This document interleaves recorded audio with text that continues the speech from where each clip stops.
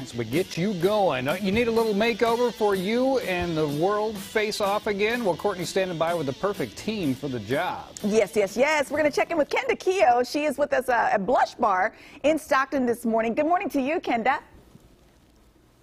Good morning, Courtney. Okay, so first of all, thank you for uh, having us in this morning. I know that you've got this beautiful location. We've seen um, wonderful uh, pictures from Instagram and such. Um, tell us what you guys specialize in at Blush Bar. Well, I'm actually a solopreneur, so it's just me. I don't have a team yet, but I offer facial treatments and lash extensions. Okay, and I know that during the height, well, I sh- should say in the beginning of the pandemic, you actually had kits for people. Um, you know, if they needed to get get get their face under control at home, you had kits available. Are you still doing those?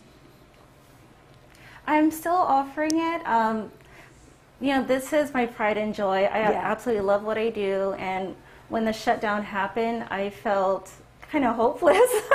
And I thought, well, you know, I have to get creative. How am I going to help my clients out? And so I thought, let's get creative and make some kits. Yeah. And turned out to be a, a, a success. Well, I, they were a huge hit, so kudos to you for thinking about that outside the box. Uh, give us a little look around. What do you got set up right there on your table?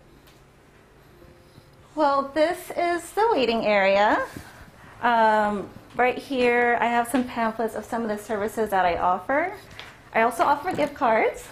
We love a gift card. Um, right in here, I offer skincare products from Lira Clinical. Um, 80% of the results that you'll see is all dependent on what's happening at home. So this is great for all global skin types here.